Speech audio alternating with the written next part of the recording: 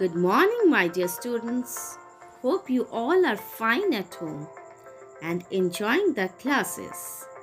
So, your ma'am is back with the maths class. We have started the recapitulation with the chapter Numbers. So, numbers we will continue. First of all, let us have fun with this poem. One, one, one, one little baby eating a bun. Two, two, two, two little children go to the zoo. Three, three, three, three green parrots flying free. Four, four, four, Four hungry pups want to eat more. Five, five, five, five honey bees are going to the hive. So students, enjoying this counting no? Six, six, six, six tiny nails Sony has to fix. Seven, seven, seven, seven little dwarfs are going to heaven.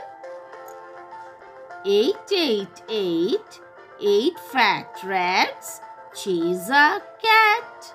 Nine, nine, nine, nine red ants walk in a line. So students, how do you like the poem? So can you guess what we are going to do?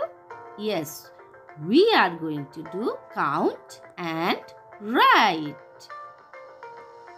See, some objects and drawings are given. You have to count it and write the numbers. First one is done. Let us do the second one. So, how many apples? Let us count. 1, 2, 3, 4, 5, 6, 7, 8, 9, 10, 11. So, you have to write 11. So next one is count the hats and write. Next is cup and saucer. Count it how many and write it. The next picture is of crayon. How many crayon?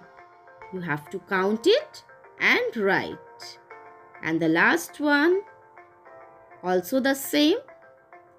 Count and write it, the numbers. Okay. Next one is matching. Match the numbers with the picture. Okay. So do it these two in your maths copy. Students, whatever homework is given, please do it and send to your class teachers on time. Okay. Bye bye for today.